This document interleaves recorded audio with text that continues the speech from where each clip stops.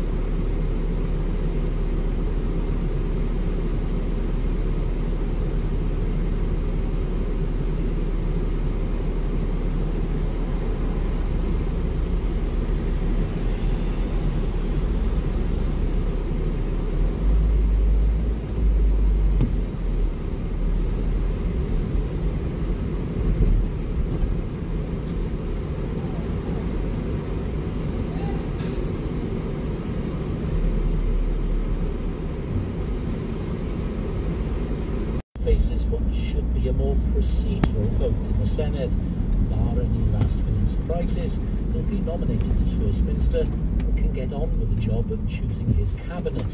Who he chooses may reveal how he intends to heal the rifts which have emerged within Labour after his acceptance of a £200,000 donation from a company whose owner was prosecuted for illegally dumping waste. Mr. Gething has refused to return the money, but has promised a review. That may not be enough to satisfy some of his critics, both inside and outside the party. Figures released in the past few minutes show inflation fell to its lowest level in more than two years at 3.4% in February. It had been 4% in January.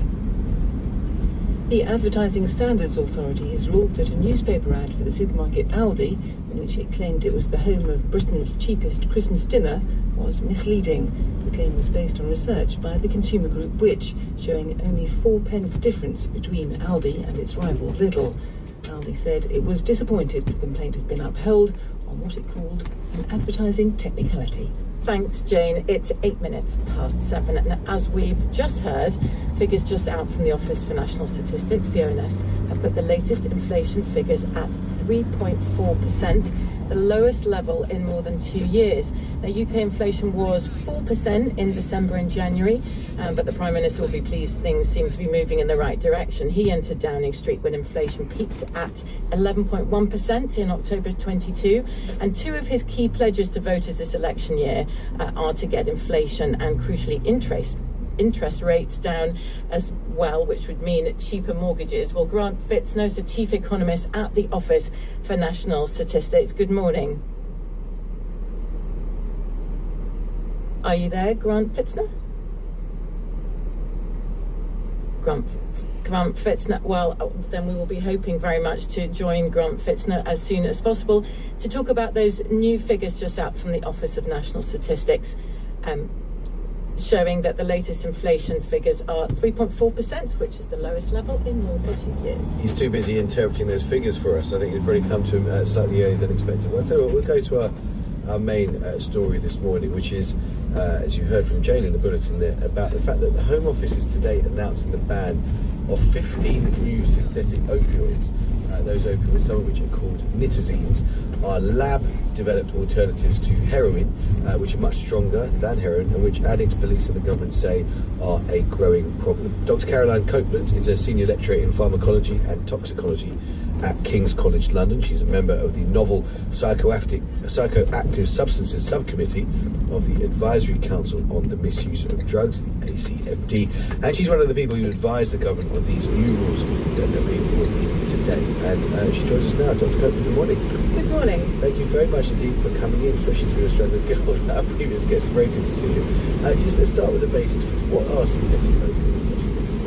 So synthetic opioids are those that are made in as opposed to those which uh, naturally occur in the opium poppy that can be cultivated. And are they easy to make? Is that one of the attractions of those doing them? They're easy to make and cheaper to ship? Uh, easier to make, cheaper to make, and easier to ship because they're so potent. You only need to smuggle a small amount that then can be diluted um, at the place that they've been shipped to. And what effect do they have on the user? What's their ph- if you like, pharmacological effect? So they are uh, opioids, so they are sedatives. They can uh, produce uh, um, sedation, uh, an element of euphoria, uh, but also respiratory depression, so stopping of breathing. And that's what's really worrying with these compounds. One of the pieces of advice that's given to people who use drugs is to go slow. And if a speck of dust is the amount that's enough to cause an overdose, it's very difficult to go slow. And is that, that really is the case? A speck of dust is enough to cause an overdose. So how much stronger are they than heroin? So if we say that heroin potency is about uh, one, fentanyl, which we know a big problem in the US, is about 50 times stronger than heroin.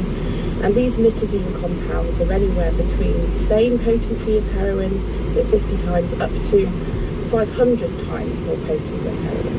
How big a problem do we have? What do we know about how many of them? What sort of evidence were you seeing about how many of them are on the streets in this country? So there's evidence from police seizures that they're in heroin supplies, but also counterfeit tablets as well. So it's not just heroin users who are at risk of overdose from these drugs.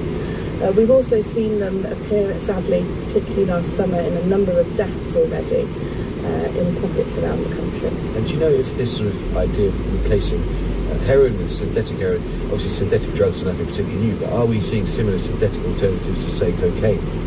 So we are starting to see uh, synthetic stimulants, so cocaine, which um, uh, stimulates the body.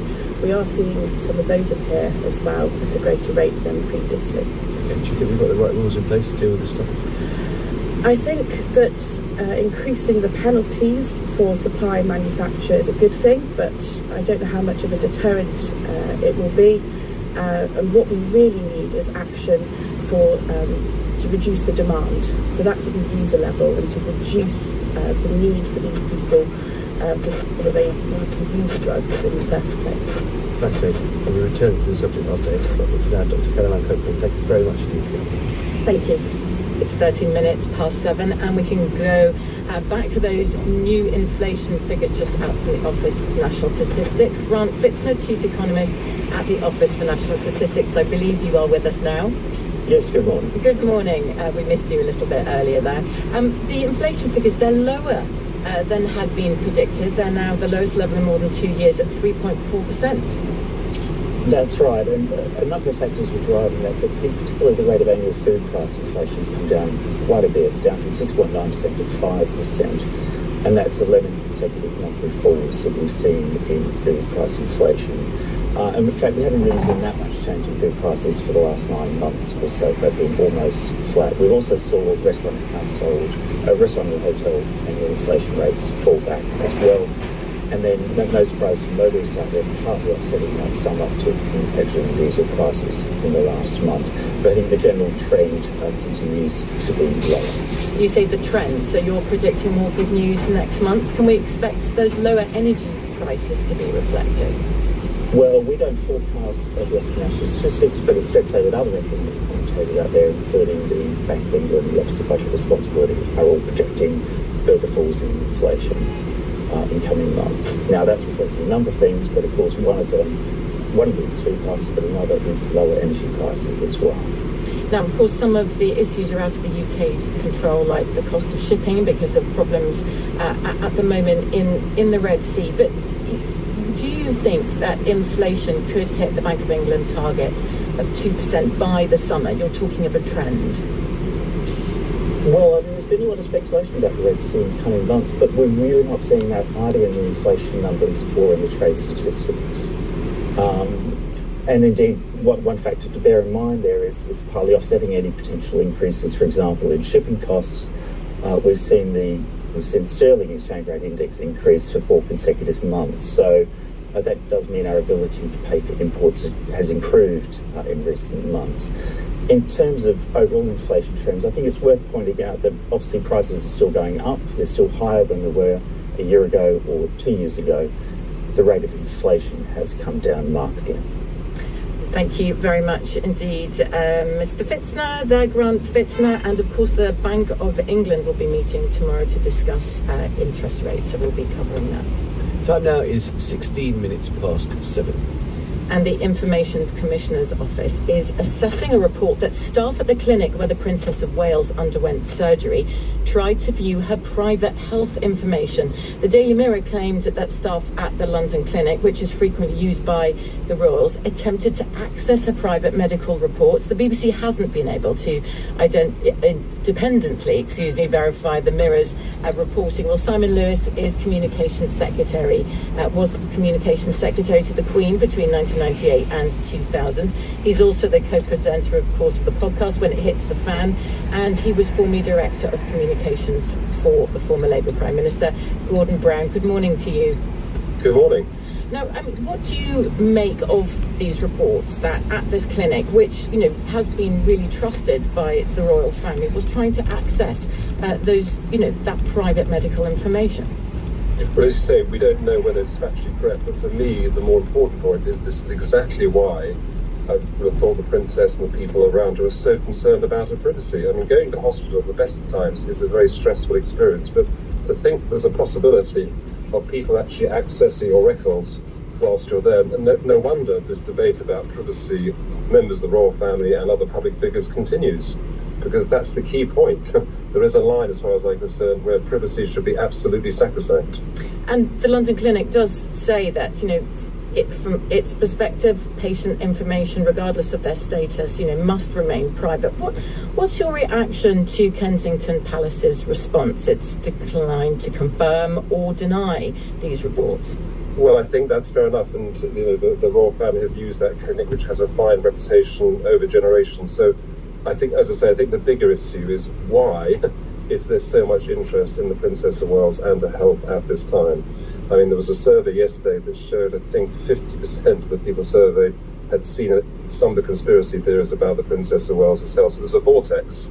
I know this happened when she was in hospital, but what we're still seeing is this unacceptable, I think, level of interest in her health and when and how she's going to return to public life. So it's all part of a bigger picture, I think, about the way in which figures in public. And it happened, you mentioned Gordon Brown.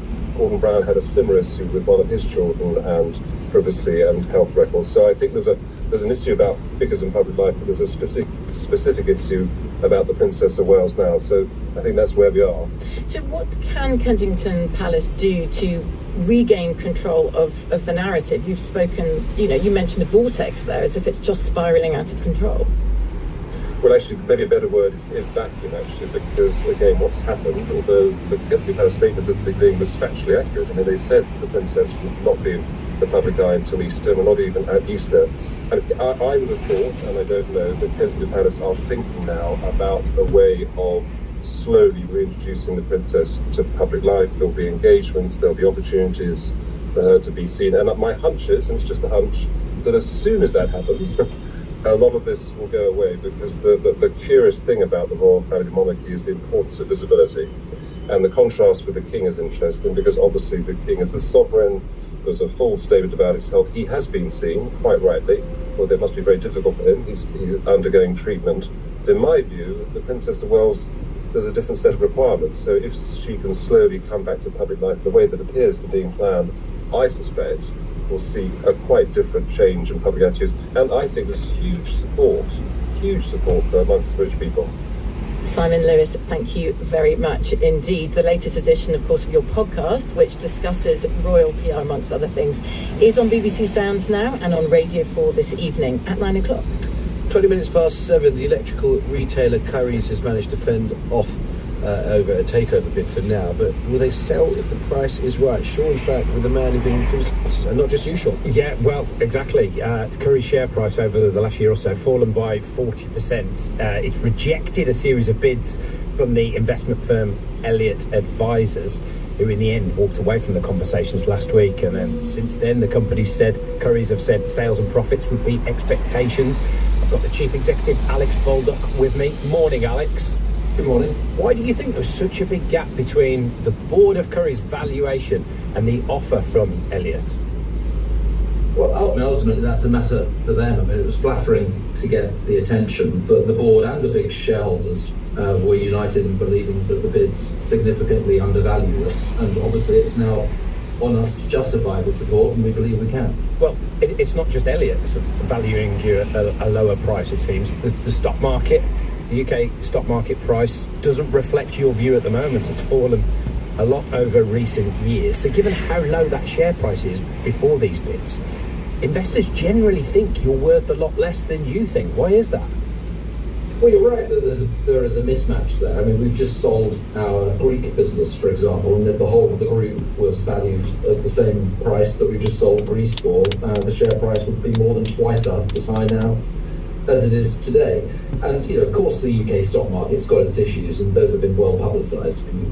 Investors have seen the UK economy as low growth, with political instability. There are some technical problems with UK equities, and it doesn't help when the pool you're swimming in is draining away within 30 months of outflows from the UK equities. But you're not going to find me. So just on that, no, but just on that. I mean, you say it's well often talked about, but is that an issue? Why you're getting bids from companies that are way lower, almost trying to take advantage of those weaknesses of the London stock market right now.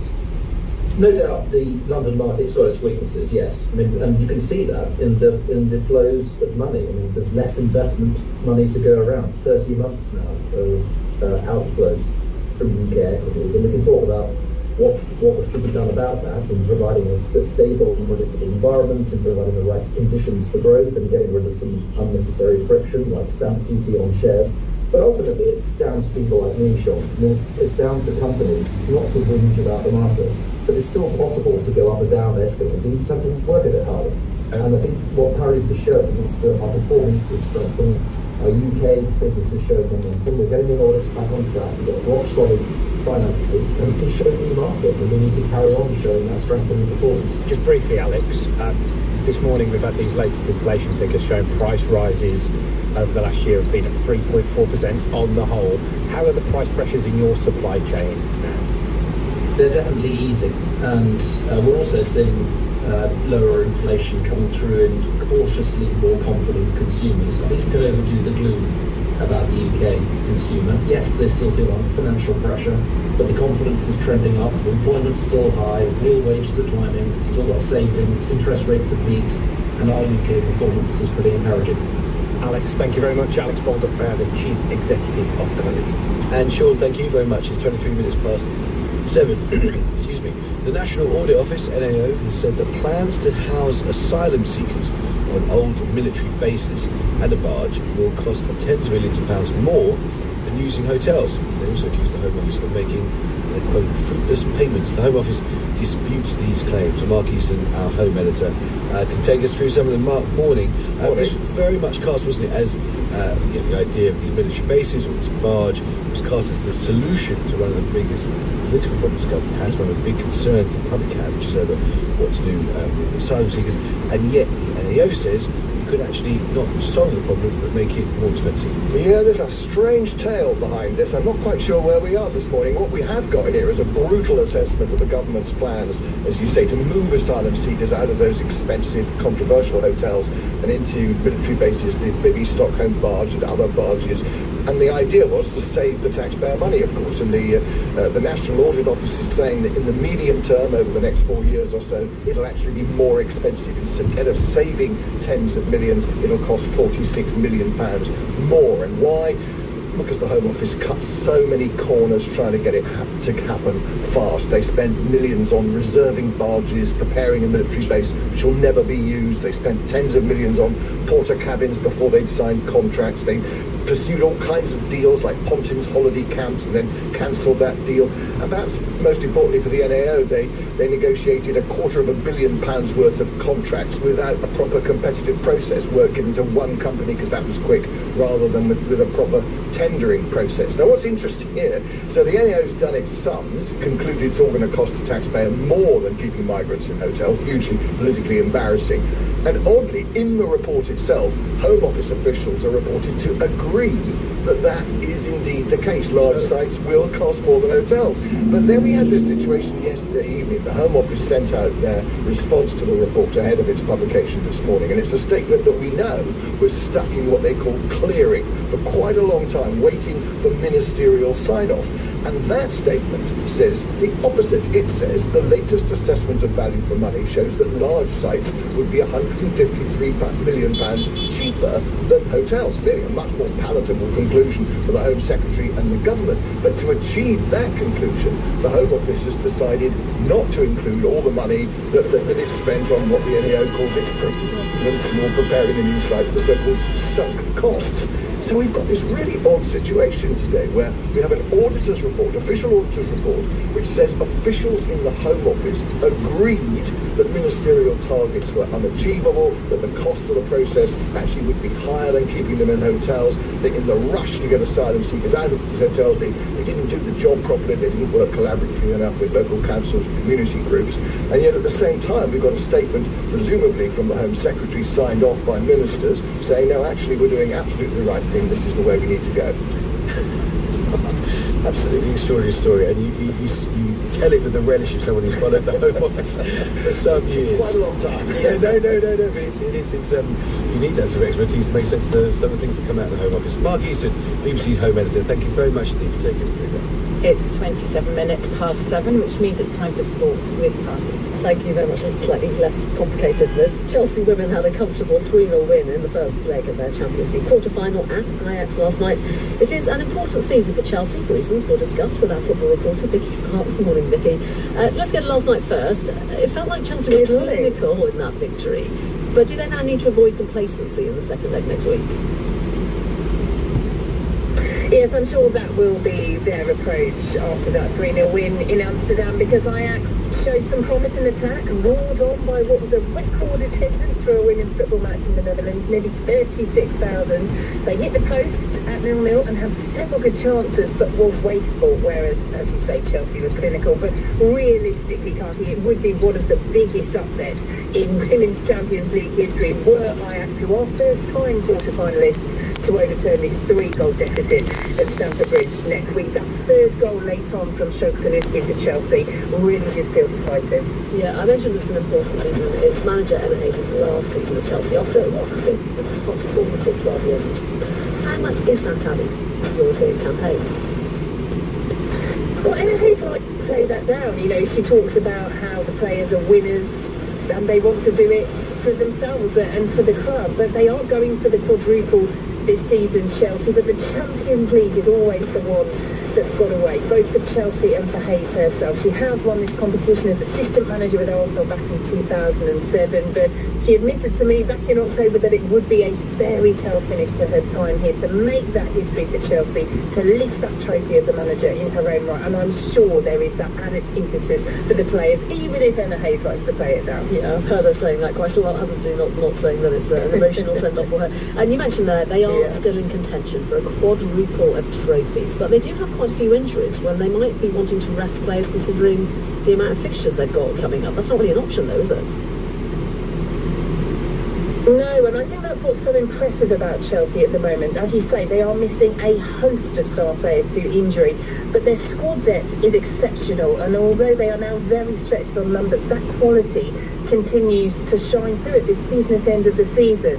And the squad that they have at the moment in the last few weeks has seen them through to the League Cup final, through to the semi-finals of the FA Cup, kept them top of the WSL on goal difference, and now with one and a half feet, I think we can say, in the Champions League semi-finals. It is all there for the taking for Chelsea.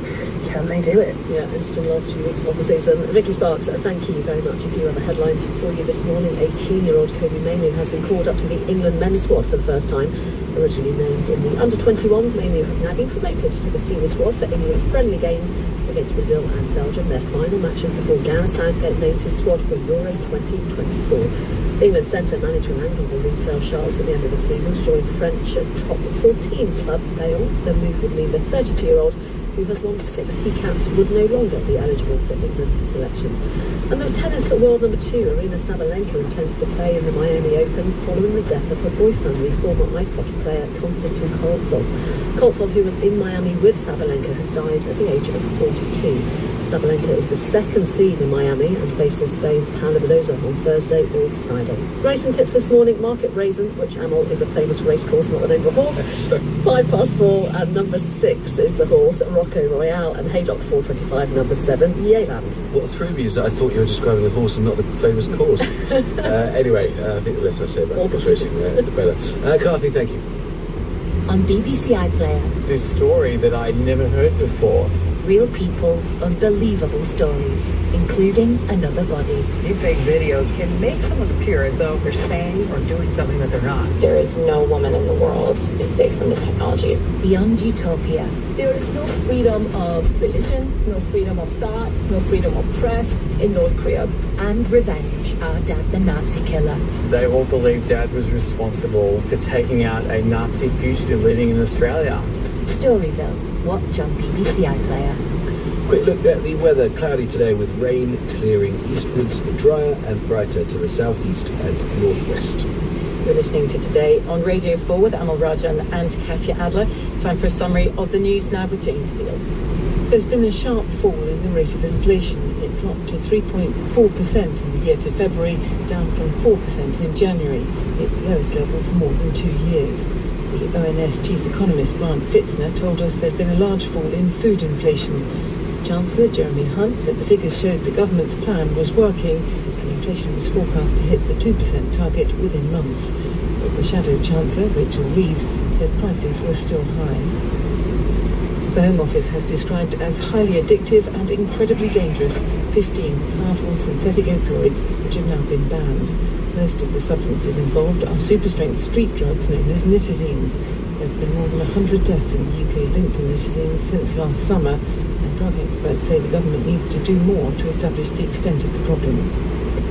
The public spending watchdog, the National Audit Office, says government plans to house asylum seekers at former military bases and on barges will cost tens of millions of pounds more than using hotels. Ministers say the figures include set-up costs and insist it's better value to continue with the sites.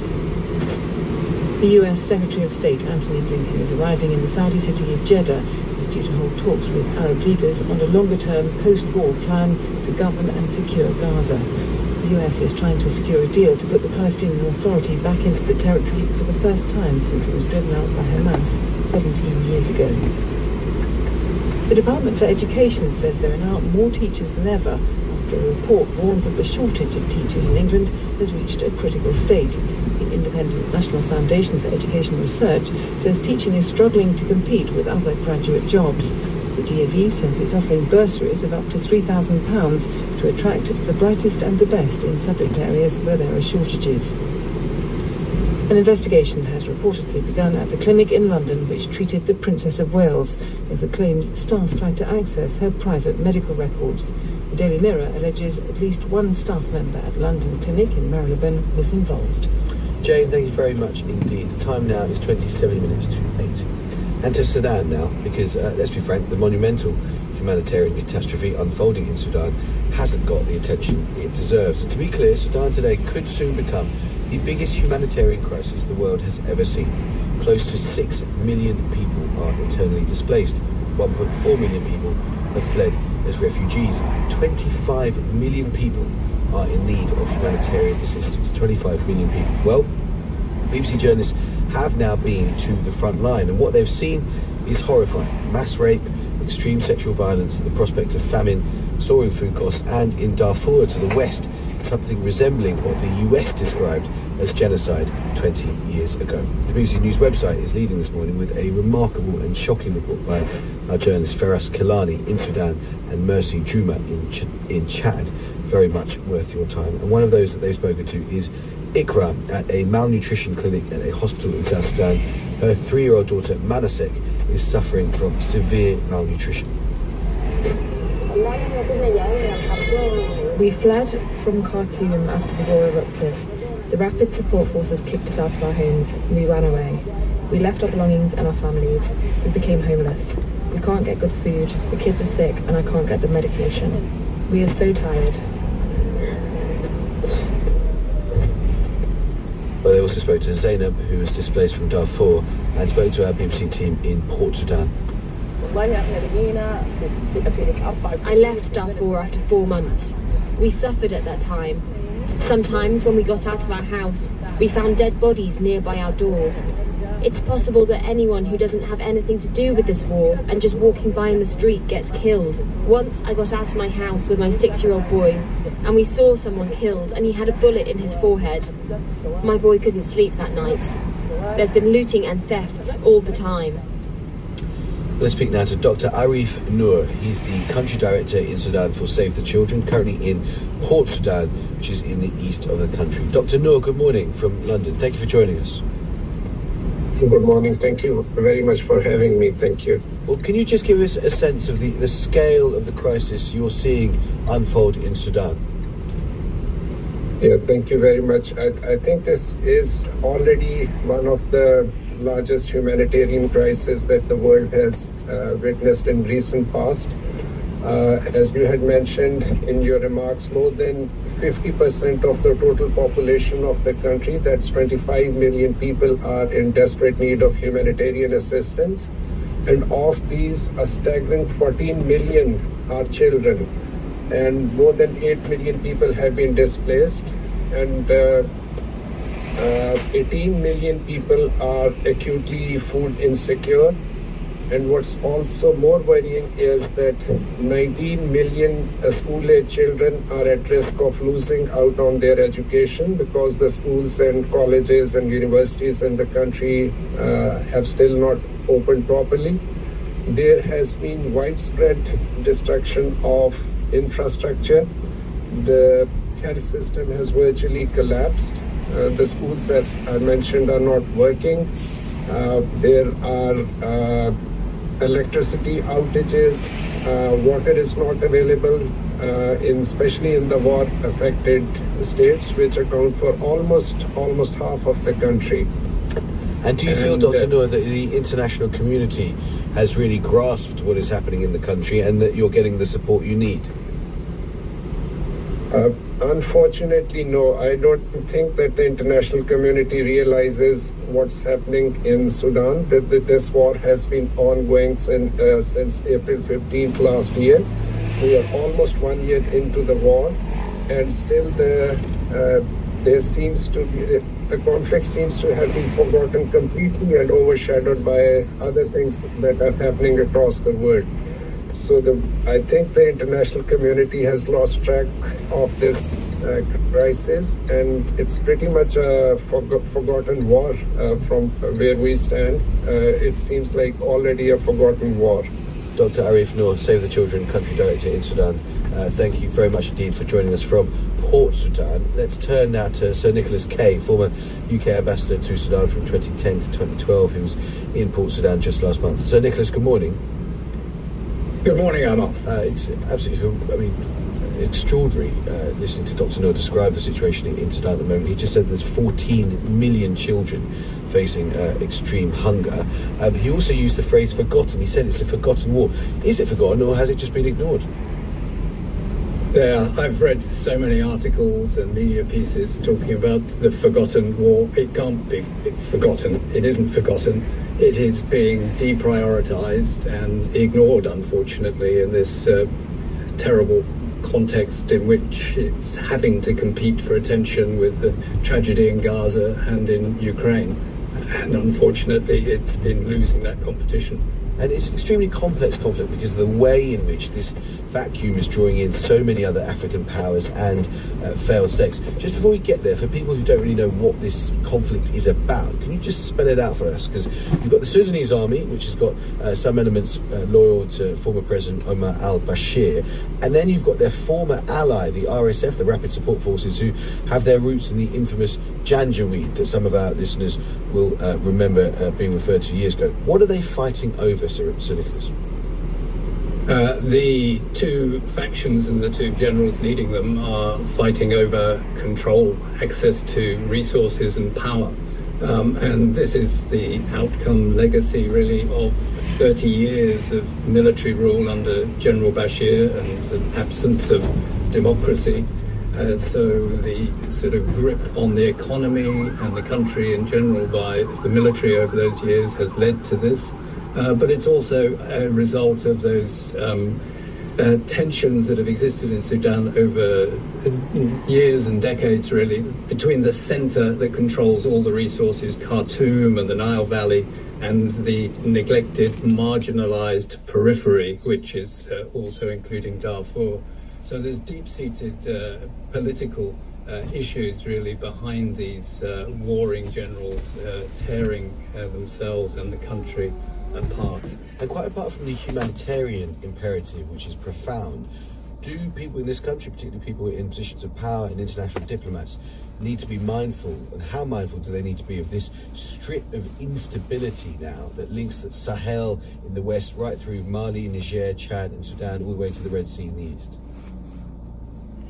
Indeed, um, a strip of instability going east-west across Africa, as you say, from Sahel to, to the Red Sea is is definitely a, factor, but there's also north-south factors too. I mean, beneath Sudan, Ethiopia, and above Sudan, uh, Egypt are deeply affected by the crises and see themselves as having strategic interests uh, there as well because of the waters of the Nile flowing.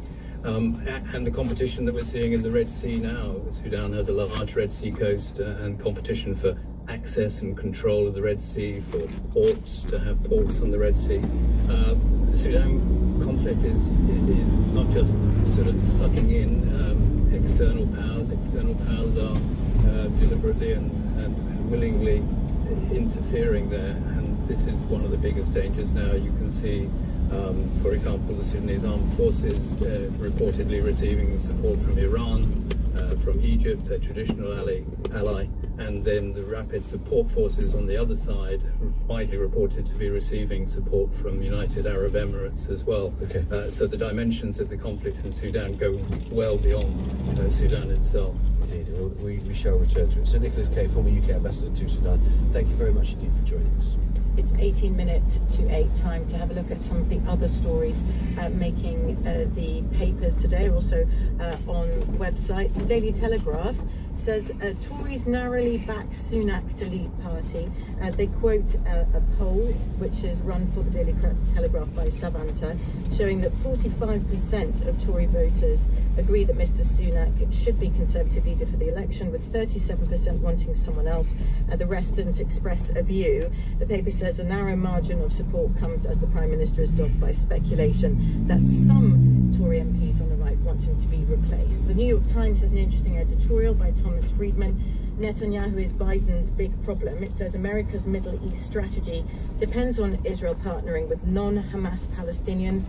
Israel's Premier, Benjamin Netanyahu, is making that impossible. It says that's a threat to Joe Biden's foreign policy goals, but also his re election chances. Just to reiterate, if you